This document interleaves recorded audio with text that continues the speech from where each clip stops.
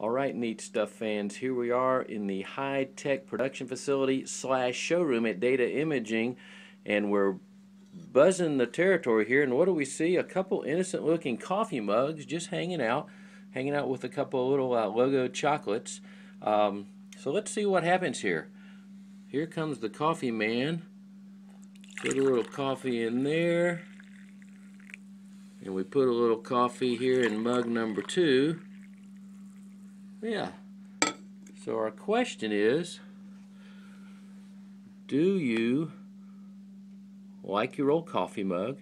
If you want to keep your old coffee mug, you can keep it, period.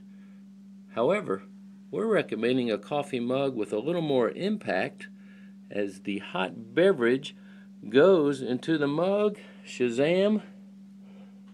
We're talking some impact there, ladies and gentlemen. If you want a mug or any other product with some serious promotional impact, call your friends at Data Imaging. Happy New Year